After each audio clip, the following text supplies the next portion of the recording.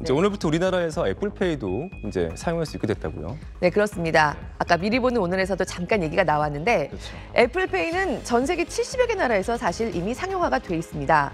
그런데 우리나라는 아이폰 사용자가 많은데도 불구하고 유독 출시가 늦었습니다. 그래서 오늘부터 아이폰을 쓰면서 현대카드 사용하시는 분들은 이 애플페이를 이용해 보실 수 있습니다. 아직은 국내 카드사 중에서 현대카드만 애플과 협약이 돼 있기 때문입니다. 네, 우리나라는 지금까지는 오프라인 결제할 때 갤럭시 폰 사용자들만 간편 결제를 쓰는 게 가능했죠. 삼성페이가 있었습니다. 네, 삼성페이는 마그네틱 방식, 그러니까 단말기에 접촉을 시켜야 결제가 되는 방식과 NFC 방식, 즉 우리가 교통카드를 휴대폰에 심어서 쓸 때처럼 단말기 근처까지만 휴대폰을 갖다 대면 결제가 되는 방식을 둘 다 지원하고 있습니다. 반면에 애플페이는 교통카드 방식만 됩니다. NFC, 근거리 무선 통신 방식의 단말기가 꼭 있어야 하는 겁니다. 근데 우리나라는 아직 편의점이나 마트 또는 대형 프랜차이즈 가맹점이 아닌 경우에는 이 NFC 방식의 결제 단말기를 갖다 놓은 가게들이 많지가 않습니다. 그래서 애플페이가 얼마나 빠르게 확산될 수 있을지는 아직 미지수이긴 합니다.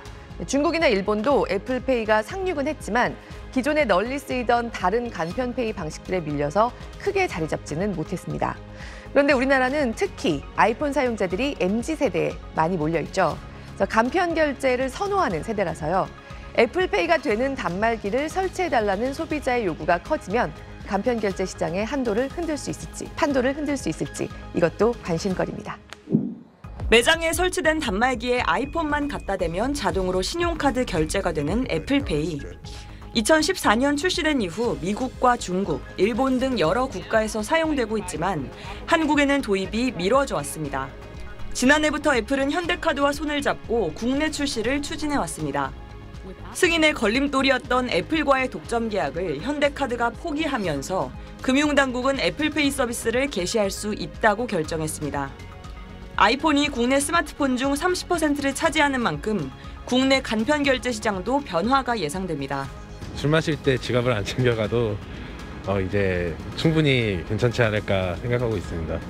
현재 오프라인 간편 결제 시장은 삼성전자의 삼성페이 사용자가 1,600만 명에 달해서 사실상 독주하고 있는데 강력한 경쟁자가 생겼다는 평가입니다. 다만 애플페이는 결제할 때 근거리 무선 통신, 즉 NFC 방식을 사용합니다. 한국은 대부분 마그네틱 신용카드를 긁어서 결제하거나 카드 아이스칩을 꽂아서 결제하기 때문에 아직 NFC 방식을 지원하는 결제 단말기는 10% 정도로 많지 않아서 도입 초기 급격한 확산은 제한적일 전망입니다.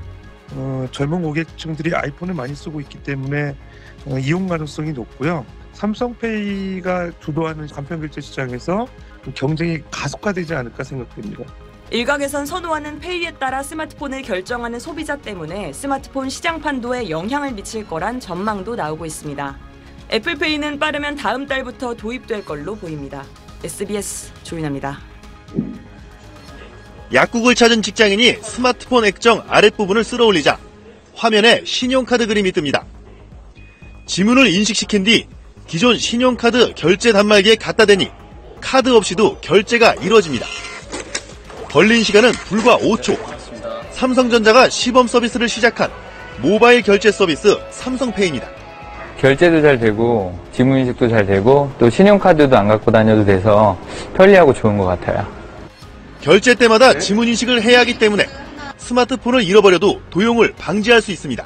거래 내용들이 암호화되어서 그리고 실시간 모니터링을 통해 매우 안전하게 지켜집니다. 애플페이나 구글의 안드로이드 페이, LG전자의 LG 워치 등은 근거리 무선 통신 NFC 방식으로만 가능한 반면 삼성페이는 NFC는 물론 마그네틱 신용카드 단말기로도 결제가 가능합니다. 하지만 삼성페이는 아직 온라인 매장에선 결제할 수 없고 갤럭시 S6 이후 모델에서만 사용할 수 있습니다. 애플페이와 구글의 안드로이드 페이가 한국 진출을 타진하면서 시장을 선점하기 위한 경쟁이 뜨거워지고 있습니다. 모바일 결제 시장을 장악하게 되면 물건의 구매 판매뿐만이 아니라 금융상품과 같은 새로운 상품과 서비스 시장으로 진출을 강화할 수 있기 때문에 굉장히 중요하고요. 올해 140조 원 규모인 세계 모바일 결제 거래액은 오는 2017년 250조 원으로 두 배 가까이 늘어날 전망입니다. 시장이 빠르게 커지고 있는 만큼 새로운 서비스를 위한 기술 개발을 놓고도 치열한 각축전이 예고되고 있습니다. SBS 이호건입니다.